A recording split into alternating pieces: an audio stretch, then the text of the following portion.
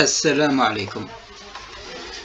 اليوم آه، حبيت ندير سلسلة جديدة من المواضيع آه، فيما يخص آه، يعني اقتراح مشاريع مستقبلية للجزائر يعني في هذه السلسلة كل يوم نقترح مشروع مشروع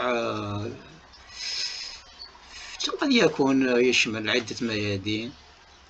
مشاريع آه، فيها فائدة للوطن وكذلك آه، مشاريع اللي ما تكلفش آه، ما تكلفش موارد كبيرة وتكون فيها منفعة عامة.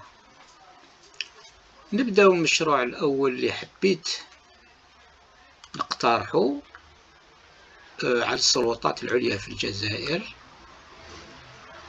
وهو يعني المشروع هذاك ما راحش يكون آه، الإنجاز ديالو في في آه، في الحين يعني في وقته يجي وقته ون- لكن ممكن السلطات تبدأ التفكير في هذا المشروع.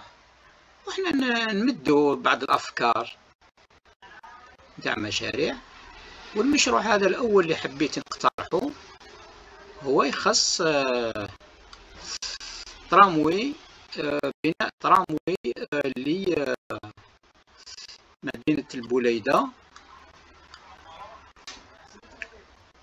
تراموي لمدينة البوليدة وهذا التراموي يشمل آه، خط آه، نحو آه، نحو آه، المدينة الجديدة تاع تاع بوعينان إذا هنا عندنا المدينة نتاع المدينة نتاع بوليدة. وهنا عندنا المدينة المدينة تاع آه، بوينان. المدينة الجديدة تاع بوينان. إذا والاقتراح هو بناء خط تراموي من آه، آه، يمر على وسط من وسط البلاد آه، وسط البوليدة باتجاه باتجاه مدينة جديدة تاع تاع بوينة. والخط هو يتبع الخط هذا. هذا هو الخط هنا نشوفوه يمشي على أس على الطريق هذا. طريق هنايا اللي راه بالأصفر باتجاه وسط مدينة.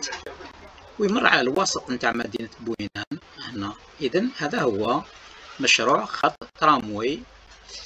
يوصل يوصل البوليدة بالمدينة الجديدة نتاع بوينان. وهنا وهنا, آه، وهنا نروح نحسب نشوف باللي ال- نشوف المسافة نتاع التراموي هذه تقدر تكون. آه، من هنا في وسط آه، مدينة آه، بو- بوينان هنا عندنا حوالي أربع كيلومترات. وهنا كذلك من النقطة هذه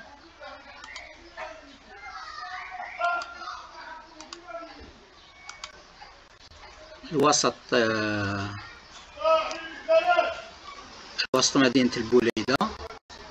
عندنا حوالي آه، عشرة عشرة كيلومترات.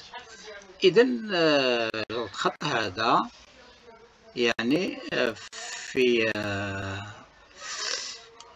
في آه، أبسط الحالات يكون فيه حوالي 14 كيلومتر. وإذا كان درنا فيه آه، آه، توصيلات أخرى نحو آه، مثلا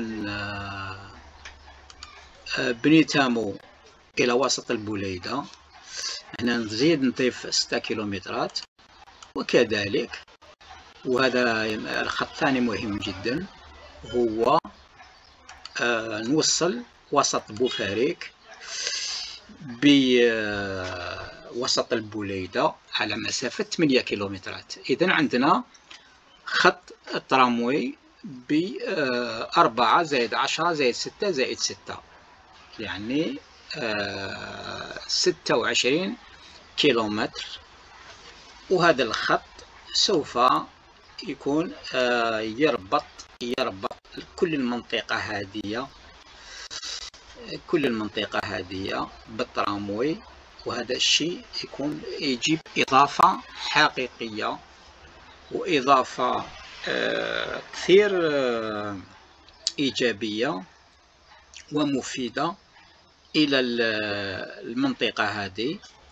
إذا علمنا إذا عرفنا أنه يعني النسبة نتاع الكثافة السكانية في هذه المنطقة هي حوالي حوالي زوج ملايين نسمة يسكنون في هذه المنطقة.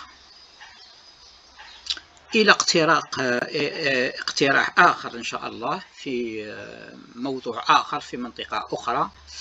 أستودعكم الله وأترككم في رعايته وحفظه والسلام عليكم.